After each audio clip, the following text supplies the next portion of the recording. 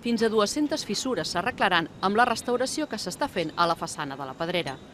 És la tercera vegada que es fa una rehabilitació completa de la façana, una feina que s'ha de fer cada 10 o 15 anys a causa de la porositat de la pedra. L'aigua s'hi filtra i provoca que el forjat interior es rovelli i augmenti de volum.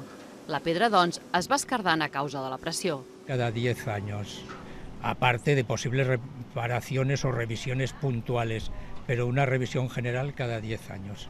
Nosotros ahora intentamos que esta revisión dure un poquito más. Una altra de les tasques que s'estan fent a la façana és la neteja de la contaminació que l'ennegreix. Amb un sistema estudiat per la Universitat de Barcelona, s'hi projecten nanopartícules que netegen la pedra sense erosionar-la.